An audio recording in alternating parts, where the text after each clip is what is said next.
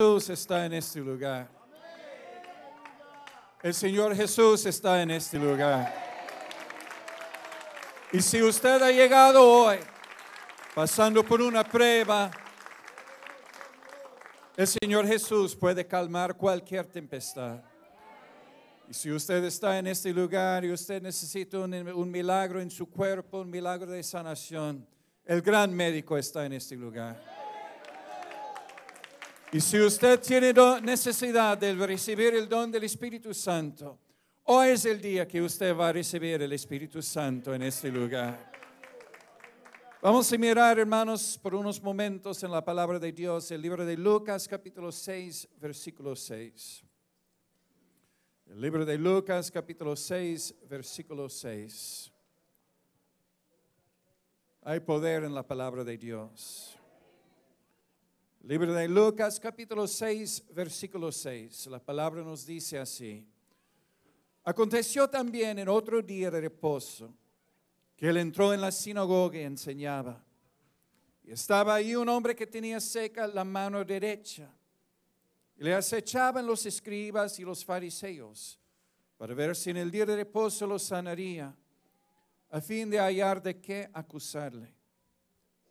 Mas él conocía los pensamientos de ellos y dijo al hombre que tenía la mano seca, levántate y ponte en medio.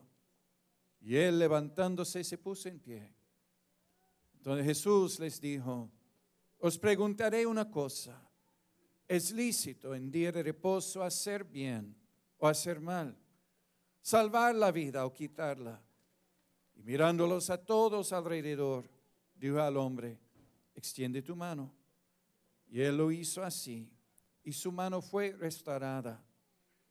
Y ellos se llenaron de furor y hablaban entre sí qué podrían hacer contra Jesús. Y hoy en este día, con la ayuda de Dios, quisiera enseñar sobre el tema, cuando Dios no pide lo mejor de nosotros. Cuando Dios no pide lo mejor de nosotros. Cuando Él nos ama así como somos, a pesar de todas nuestras fallas. Él nos ama a pesar de todos nuestros defectos, todos los errores que hemos cometido. Él nos ama. Pero que no me malentienden, siempre hay necesidad de arrepentimiento. Hasta el gran apóstol Pablo dijo, yo muero cada día. El Señor quiere efectuar un cambio, una transformación en nuestras vidas. Pero Él nos ama así como somos, a pesar de todos los errores que hemos cometido. Podemos sentarse, hermanos, en el nombre de Jesús. Es propio del ser humano. Siempre queremos presentarnos al mundo, a los vecinos, amigos y familiares. Siempre queremos presentarnos al mundo con la mejor apariencia y siempre queremos esconder las fallas y defectos. Puede ser que usted ha pasado toda la noche en tristeza, llorando, pero usted llegando a la iglesia hoy, usted va a venir con sonrisa como si todo está bien. Aunque usted está sufriendo por dentro, usted viene como si todo está bien. Porque es propio del ser humano.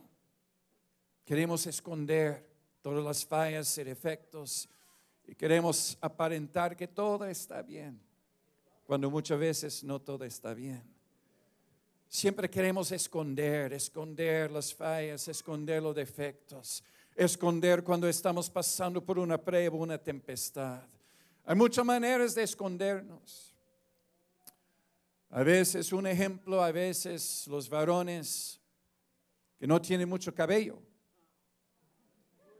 van y compran un peluquín. Yo no, así soy yo, yo no voy a esconderme. Lo que usted ve es realmente lo que soy. Y aunque usted no me crea, su servidor, la edad de 19 años, uy, yo tenía cabello, abundante cabello, como olas y ondulaciones del mar océano. Pero ahora Ya no tengo olas, ya no tengo ondulaciones como el mar océano. Pero yo tengo playa.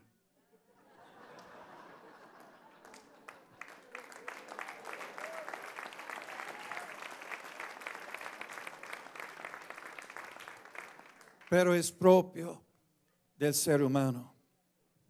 Queremos esconder todas las fallas y defectos. Queremos esconder las lágrimas y tristezas. Queremos esconder el sufrir. Queremos esconder la pena de los errores que hemos cometido. Y queremos siempre llevar una máscara puesta, aparentando que todo está bien. Pero lo más triste es que a veces sucede que el ser humano hasta quiere esconderse de la presencia de Dios. En el libro de Génesis, el Señor Dios llamó al hombre diciendo, ¿dónde estás? Dios está buscando al hombre. El hombre está escondiéndose de la presencia de Dios. El libro de Apocalipsis, y decían en los montes y en las peñas, caed sobre nosotros y escondernos de la presencia del que está sentado en el trono. A veces la gente quiere esconderse de la presencia de Dios.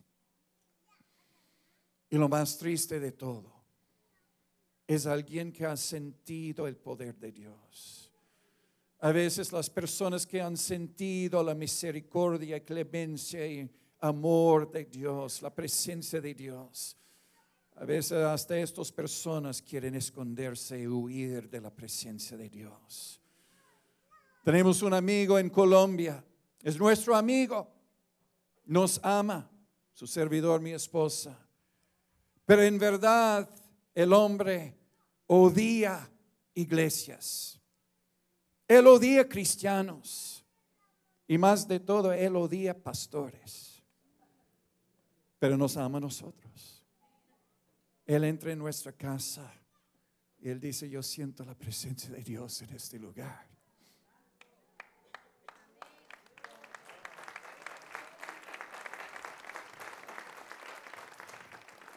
Y él ha venido con nosotros visitando la iglesia algunas veces. Y yo recuerdo una vez, él pasó a frente de rodillas, levantó sus manos con lágrimas en sus ojos.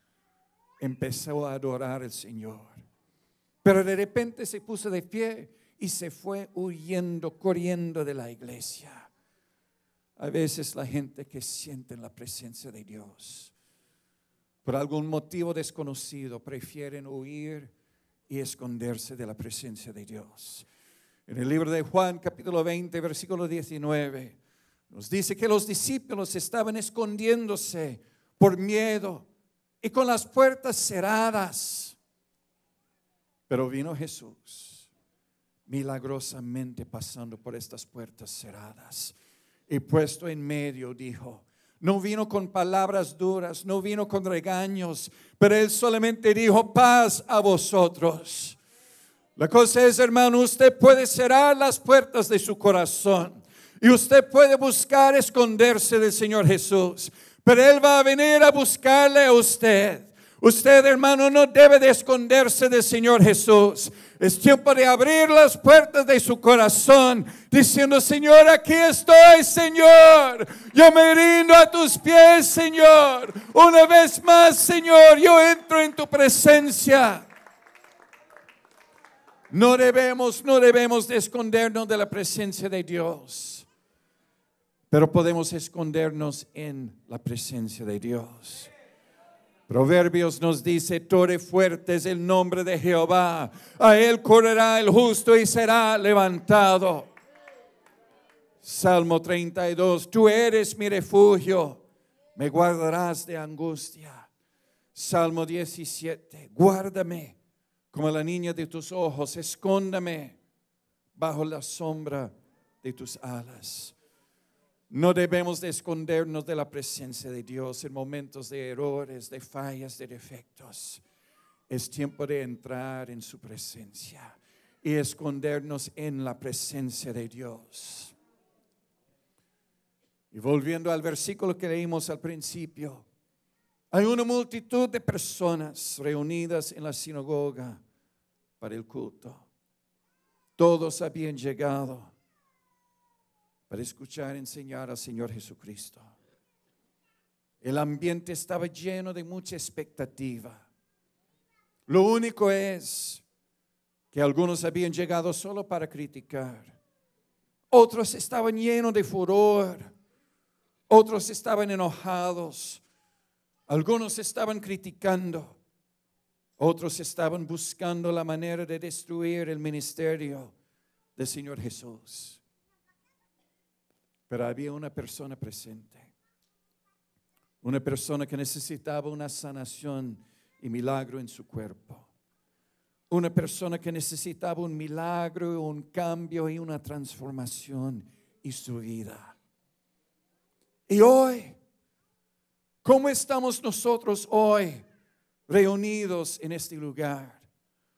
¿Cuál es el propósito de estar aquí presente? Llegamos para criticar Llegamos porque tenemos que estar en culto para que el pastor no nos llame la atención. O llegamos para no hacer enojar a nuestros padres.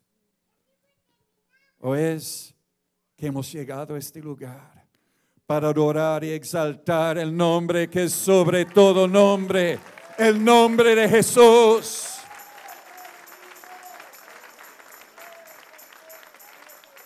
Un hombre presente con una necesidad. Un hombre con su mano derecha seca. Y yo imagino que él toda su vida, siete días la semana, 24 horas el día, siempre, siempre obsesionado y pensando en una sola cosa. Tengo que esconder mi mano todo el día. Cuando él está con sus familiares, con sus amigos, escondiendo, escondiendo su mano. Siempre, siempre, siempre escondiendo su mano. Para esconder su falla, para esconder su defecto de todo el mundo. Y ahora el Señor Jesús dice al hombre, ponte en medio. Quizás el hombre ha llegado tarde al culto para no saludar a nadie, solamente para esconder su mano. Quizás el hombre está sentado en las sillas de atrás, en algún rincón del salón, como había permanecido por toda su vida, escondiéndose con pena, con vergüenza. Imagínese el terror para el hombre cuando es llamado por el Señor Jesús. Y toda esta gente con odio en su corazón mirando alrededor, criticando y haciendo malas caras. Seguramente el hombre estaba en este momento muy, muy nervioso. Y quizás mientras él pasaba al frente, él hacía todo lo posible para esconder su mano seca. Él ahora temblando, casi por desmayar, con temor, llega al frente y todos mirándole a él. En este momento dice Señor Jesús, extiende tu mano. Imagino que la gente todo atónitos, porque todos conocen el hombre, pensando, ¿qué va a hacer el hombre? Los segundos pasan como una eternidad, todos esperando. ¿Y ahora qué va a hacer el hombre? Enfrente de todo el mundo. ¿Cómo es que Él puede extender su fea mano? ¿Cómo es que Él puede mostrar a todos su defecto, su falla? Todos se quedan esperando a ver qué va a hacer el hombre. Supongo que en esos momentos Él está pensando en su corazón, en su mente. El Señor Jesús no me indicó qué mano. Quizás él pensando, yo puedo enseñar a todos mi mano bueno. Yo puedo seguir aparentando que todo está bien cuando todo no está bien. Quizás él pensando, yo puedo seguir escondiéndome.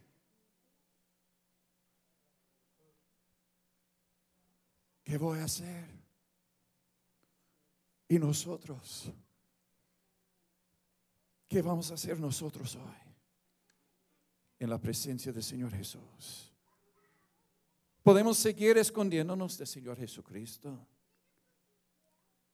¿O es que vamos a los pies del Señor Jesús diciendo, aquí estoy, Señor? Todo lo bueno, todo lo malo, todo lo feo, Señor, aquí estoy, Señor. Una vez más, yo entro en tu presencia, yo me rindo una a tus pies, Señor, una vez más. Entrando en su presencia, una vez más pidiendo perdón, una vez más buscando una transformación. Finalmente el hombre enfrente de todos extiende su mano seca a Jesús. Y en ese momento, cuando Él deja de esconderse, cuando Él extiende su mano feo, es el momento que Él recibe su milagro y quedó completamente sano. Pero las personas que estaban criticando, las personas que estaban juzgando, las personas que estaban mirando alrededor, ellos no recibían ningún milagro. Y todos acá presentes, todos, todos, todos tenemos necesidad del Señor Jesús.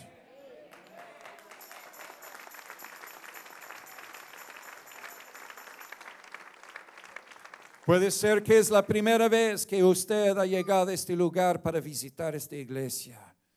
Amigo, usted tiene necesidad del Señor Jesucristo. O puede ser que usted, hermano, ya lleva 10 años, 20 años, 30 años toda su vida sirviendo fiel al Señor. Pero la cosa es que hasta la gente fiel, hasta la gente piadosa, hasta la gente de fe, hasta la gente entregada al Señor, hasta la gente más santo, tienen necesidad del Señor Jesucristo. Puede ser que usted necesite milagro de sanación de los sentimientos del corazón o puede ser que usted tiene necesidad de un milagro en su cuerpo. O puede ser que usted necesite el don del Espíritu Santo. Hoy todos tenemos necesidad del Señor Jesús. Entrar en su presencia una vez más. Aquí estoy, Señor. Todas las fallas, todos los defectos, todos los errores. Aquí estoy, Señor. Salmo 107. Pero clamaron a Jehová en su angustia y los libró de sus aflicciones. Envió su palabra y los sanó. Cada vez que su pastor está en este púlpito enseñando la palabra de Dios, Dios está enviando su palabra. Dios está enviando su palabra, su consejo. No es el tiempo de WhatsApp, no es el tiempo de enviar textos, es el tiempo de recibir la palabra de, Dios que nos va a sanar, nos va a direccionar. Envió su palabra y los sanó y los libró de su ruina. Salmo 103, misericordioso y clemente es Jehová, lento para la ira y grande en misericordia. No contenderá para siempre, ni para siempre guardará el enojo no ha hecho con nosotros conforme a nuestras iniquidades, ni nos ha pagado conforme a nuestros pecados, porque como la altura de los cielos sobre la tierra, engrandeció su misericordia sobre los que le temen. Cuanto está lejos el oriente del occidente, hizo alejar de nosotros nuestras rebeliones. Como el Padre se compadece de los hijos, se compadece Jehová de los que le temen. Porque Él conoce nuestra condición. Él conoce nuestras fallas, Él conoce nuestros defectos, Él conoce nuestros errores que hemos cometido. Se acuerda de que somos polvo, mas la misericordia de Jehová es desde la eternidad y hasta la eternidad. Una misericordia que no se fatiga, no se cansa en perdonar una vez más y una vez más y una vez más y una vez más. Hasta el gran apóstol Pablo dijo, miserable de mí, porque todos, todos, todos somos seres humanos. Los músicos pueden pasar. ¿Y qué vamos a hacer nosotros hoy? Podemos seguir escondiéndonos. Podemos seguir llevando una máscara de sonrisa, aparentando que todo está bien, mientras estamos llorando por dentro. Podemos seguir escondiéndonos. O podemos llegar a los pies del Señor Jesucristo una vez más. Aquí estoy, Señor. Vamos de pie un momento. Les conto una historia. Mi esposa viene pasando para ayudarme. La bella suegra falleció hace, unos cuatro años, una gran mujer de Dios. Ella falleció a la edad de 97 años. Recibió el don del Espíritu Santo a la edad de 12 años. Imagínese 85 años sirviendo fiel al Señor. Dio luz a 15. Tres fallecieron en nacimiento. En su vida, tres de sus hijos fallecieron. Pero una mujer fiel, fiel. Pero mi suegro no quiso servir al Señor. Maltrataba la bella suegra, maltratado a veces, de vez en cuando los hijos. Y la suegra a la edad de 42 años, como el año 1963, pasó por un momento, un crisis duro en su vida, una tempestad grande. Mi suegro llevó la bella suegra y los doce hijos y los dejó en las montañas abandonados, sin recursos económicos, sin dinero, sufriendo, necesitados, en una casa humilde con aperturas en la pared, aperturas en el piso, el viento frío de invierno entrando.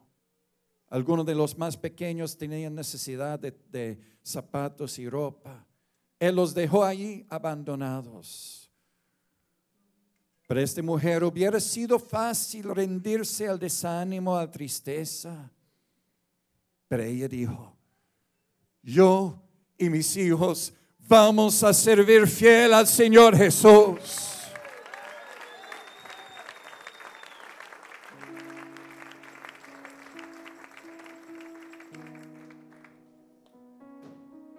Y después, cada domingo, ella, llevando sus hijos, buscando una iglesia del nombre de Jesús.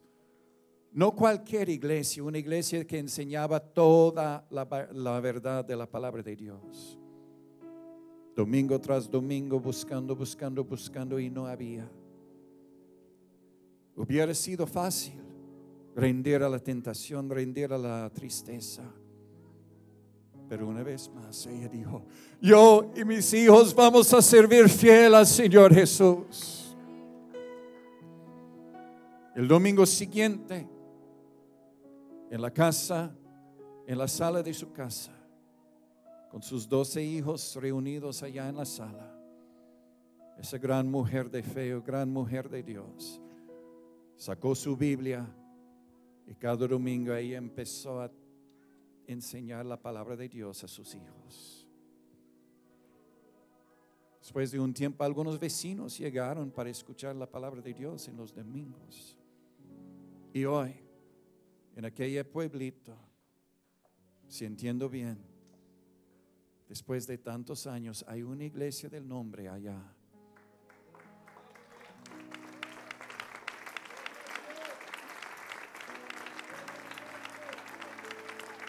Una iglesia del nombre que de una manera u otra tiene su raíz espiritual en la sala de una mujercita que dijo, yo y mi casa vamos a servir fiel a Dios. Y como Pablo dijo, la fe que habitaba en tu abuela, en tu madre y también en ti, Timoteo mi esposa lleva esta unción y fe de la bella suegra. Y donde quiera que hemos ido, en Colombia, Canadá, los Estados Unidos. Cuando mi esposa da una oración de fe y cuando el pueblo empieza a adorar a Dios. No podemos hacer malas caras, podemos estar allí criticando la iglesia, los hermanos en nuestros corazones. O podemos tener los brazos cruzados. Pero si queremos recibir algo de Dios, adorando y exaltando el nombre que es sobre todo nombre. Hace unos meses, hace unos meses en una iglesia, empezando el culto, una mujer, una hermana, pidió oración. Yo estoy perdiendo el oído. Voy a someterme a una cirugía en estos días. Pero en un momento ella, en un lugar, nada que hizo su servidor, nada que hizo mi esposa, pero nada más esta hermana, adorando, exaltando el nombre de Jesús. De repente puso sus manos diciendo que el Señor me sanó. El Señor me hizo un milagro. Yo puedo ir ahora. En otra iglesia, una mujer entró en silla de ruedas. Cuatro y medio años sufriendo con tanto dolor que no, no pudo ponerse de pie. Pero en un momento, nada que hizo su servidor, nada que hizo mi esposa, pero un grupo de hermanos alrededor de ella, adorando el nombre de Jesús. Esa mujer se puso de pie y empezó a caminar por todos lados. ¿Qué vamos a hacer hoy? Podemos seguir escondiéndonos. Podemos seguir aparentando que todo está bien mientras por dentro estamos llorando y sufriendo.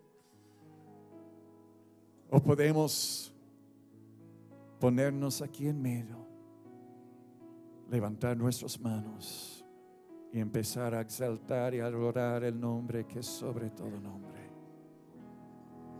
Aleluya, Jesús está aquí. Como Él andaba hace muchos años en el tiempo de este hombre con necesidad. También Él anda aquí. Él está en su lado. Aleluya, yo siento que Él está caminando por cada vacío, cada silla. Y Él está diciendo, ponte en medio. No sabes que yo puedo ayudarle. Yo puedo sanarle. Extiende su necesidad. El Dios de dioses el médico de médicos. Todo que no lo pueden los doctores. Mi Dios puede hacer todo. Yo he visto tantos milagros. No hay nada imposible para mi Dios. Aleluya. Y no hay nadie aquí perfecto. Cada uno de nosotros tenemos fallas, defectos y caímos. Pero es tiempo de levantar y sacar todo y decir aquí estoy. Oh Señor Jesús, te necesito a ti. Y a la. Oh, no puedo vivir un día, un segundo sin Dios en mi vida. Habla con Él. Extiende su necesidad. Vamos a hablar con Él. Gracias Jesús por su presencia, por su misericordia, su paciencia. Tú me conoces mejor que nadie. Pero gracias por su amor.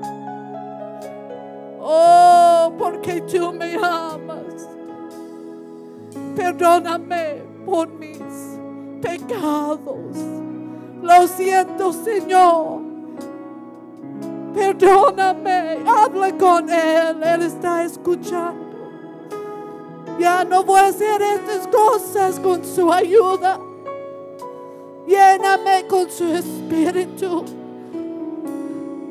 Cámbiame, cámbiame, transfórmame. Lléname con su espíritu. Oh, aleluya. Alaba a Dios con todas sus fuerzas. Levante sus manos. Así vas a recibir su milagro. Alabando a Dios con todas sus fuerzas. Oh, aleluya, aleluya. Alabaré a Dios.